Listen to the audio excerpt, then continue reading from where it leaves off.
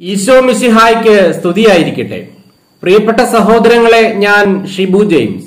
നാം വലിയ നോമ്പിന്റെ പത്താം ദിവസത്തിലേക്ക് പ്രവേശിക്കുകയാണ്. ഇന്നത്തെ ചിന്തയ്ക്കായി തിരഞ്ഞെടുത്തിരിക്കുന്ന ബൈബിൾ ഭാഗങ്ങൾ വിശുദ്ധ മർക്കോസിന്റെ സുവിശേഷം നാലാം അധ്യായം ഇരുപത്തിയൊന്ന് മുതൽ ഇരുപത്തി ഒൻപത് വരെ വാക്യങ്ങളും വിശുദ്ധ പൗലോസ്ലിഹ കൊറിന്തോസുകാർക്ക് എഴുതിയ ഒന്നാം ലേഖനം ആറാം അധ്യായം ഒന്ന് മുതൽ പതിനൊന്ന് വരെ വാക്യങ്ങളുമാണ്. ഈ രണ്ടു ഭാഗങ്ങളും നിങ്ങൾ വായിക്കുകയും ധ്യാനിക്കുകയും ചെയ്യുക.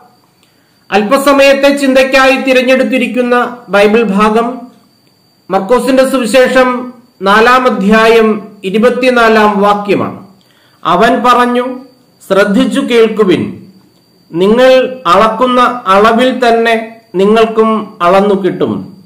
കൂടുതലും ലഭിക്കും. അനേകം പ്രസംഗങ്ങളിലും ഞായറാഴ്ചകളിലെ വായനയിലുമൊക്കെ ധാരാളം തവണ നാം കേട്ടിട്ടുള്ള ഒരു ബൈബിൾ ഭാഗമാണിത്. നിങ്ങൾ അളക്കുന്ന അളവിൽ തന്നെ നിങ്ങൾക്കും അളന്നു കിട്ടും. കർത്താവ് നൽകുന്ന വളരെ പ്രസക്തമായ ഒരു ഉപദേശമാണ്. എന്താണ് മറ്റുള്ളവർക്ക് നാം നൽകുന്നത്? അത് നന്മയാവട്ടെ തിന്മയാവട്ടെ നാം മറ്റുള്ളവർക്ക് നൽകുന്നത് നമുക്ക് തിരികെ ലഭിക്കും എന്നതാണ്. വളരെ സ്വാഭാവികമായി പറഞ്ഞാൽ നമുക്ക് എതിരെ വരുന്ന ഒരു വ്യക്തിയെ നോക്കി മനോഹരമായി ഒന്ന് പുഞ്ചിരിച്ചാൽ അയാൾ സ്വാഭാവികമായും നമ്മളോട് പുഞ്ചിരിക്കും.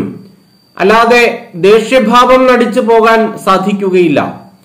അതുതന്നെയാണ് എല്ലാ കാര്യങ്ങളിലും സംഭവിക്കുന്നത്.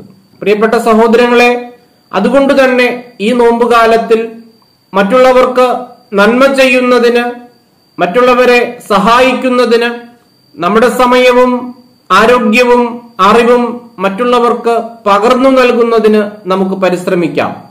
അതിലൂടെ മറ്റുള്ളവരിൽ നിന്ന് നന്മയും അനുഗ്രഹങ്ങളും ലഭിക്കുന്നതോടൊപ്പം തന്നെ ദൈവത്തിൽ നിന്നും ധാരാളം അനുഗ്രഹങ്ങൾ നമുക്ക് ലഭ്യമാകും.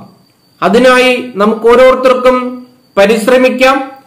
എല്ലാവർക്കും എല്ലാവിധ നന്മകളും അനുഗ്രഹങ്ങളും ഉണ്ടാകട്ടെ എന്ന് ആശംസിച്ചുകൊണ്ട് പ്രാർത്ഥിച്ചുകൊണ്ട് നിർത്തുന്നു. നന്ദി.